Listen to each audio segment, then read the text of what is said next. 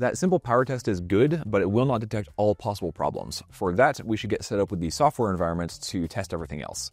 You will need a computer of some kind. Uh, any operating system should be fine. Even a Chromebook works because the software environment runs in a browser. Uh, you will also need a USB cable with a Type C connector for the control board. Uh, it is also possible to connect over Bluetooth to the code environment, but we'll just be demonstrating with the USB cable here. Note that the cable is not included in the kit, but we do have them available on our storefront. Once you have a cable, plug one end into your computer, and then plug the other end into the control board. Note that even with the control board's power switch in the off position, the computer still detects the board was connected and almost all the same LEDs illuminate as before.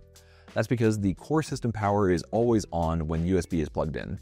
However, to power the motors and servos, that power is only available when the power switch is in the on position, and that power can come from either the battery or the USB connector.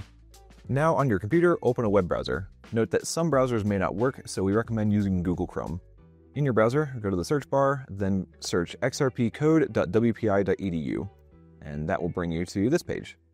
This is the main code editor that is used to interact with and program the XRP. If there have been any updates since the last time you connected, you'll see patch notes like this that you can read to learn more about what changed. We'll cover a few basic things about the editor here, but if you want more resources, look under the Help menu at the top. Here you can access the XRP user guide, API reference, curriculum, and online support forum. We'd recommend looking at these after you've verified the XRP has been assembled correctly, but for now, we need to connect to the XRP. Click the Connect XRP button in the top right corner. It will ask if you want to connect via Bluetooth or USB. Since we're doing USB, we'll click that one. Then in the top left, it will ask you for a device to connect to. Assuming you only have the XRP connected, you should only see one option.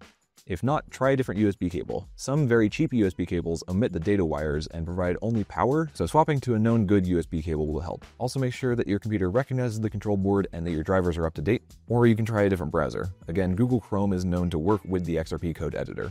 Once you find your board, select it, then click the connect button. After a moment, there will be some messages at the bottom, which means you're connected to the robot. If your MicroPython version needs to be updated, you'll see a message like this. Click the OK button.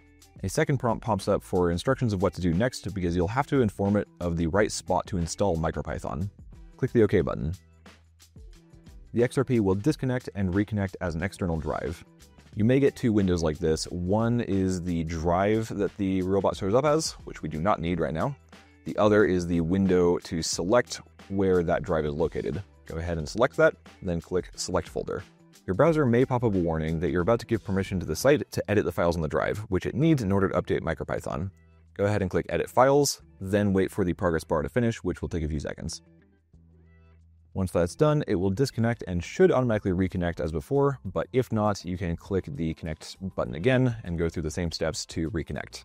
If the library files need an update, you will see a message like this. Click the OK button, and then you'll have a progress bar showing the process of the files being updated. Now that everything is updated, we can quickly verify MicroPython is working by entering some Python code in the bottom window here. For example, if we type print 1 plus 2, it should spit out 3. That means that MicroPython is working. In the main window, you have the option of creating a new Blockly or MicroPython file. You can play with these right away if you want, but we recommend you first run the installation verification example to confirm everything is working correctly. On the left, there's a file browser showing all the files stored on the XRP.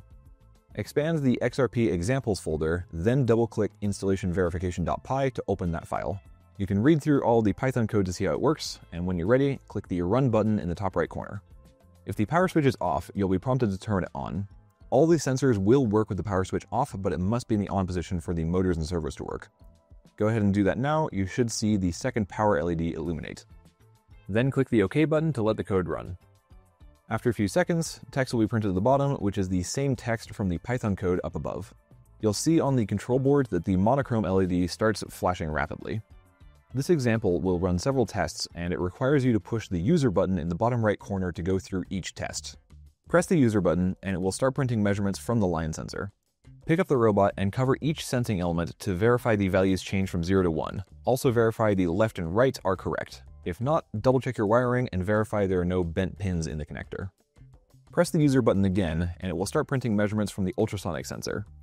Move your hand in front of it to see the measured distance in centimeters. If it's not working, again double check the wiring and verify no bent pins in the connector. Press the user button to continue. The next test will move the servo, so keep your hands clear of its motion. Also ensure the power switch is on, then once you're ready, push the user button again and the servo will move after a second. If it doesn't move, double check the cable is plugged in correctly and that the power switch is on. The last step will drive the robot around to verify the motors, encoders, and IMU are all working. It will drive forwards 25 centimeters, turn left 90 degrees, then turn back and drive back, so make sure you have clear space for this. You can pick up the robot if you don't have enough space, but the drive functions use the IMU to verify the orientation of the robot, so you will need to physically rotate the robot for each step to complete. Watch the rotation of the drive wheels to see what direction the robot is trying to turn. If you let the robot drive around, be careful of the USB cable. You may need to guide it around to ensure it doesn't get caught or tangled in anything. You can even unplug the USB cable at this point. If you have batteries installed and the power switch is on, the code will continue running. Once you're ready, press the user button and the robot will start driving.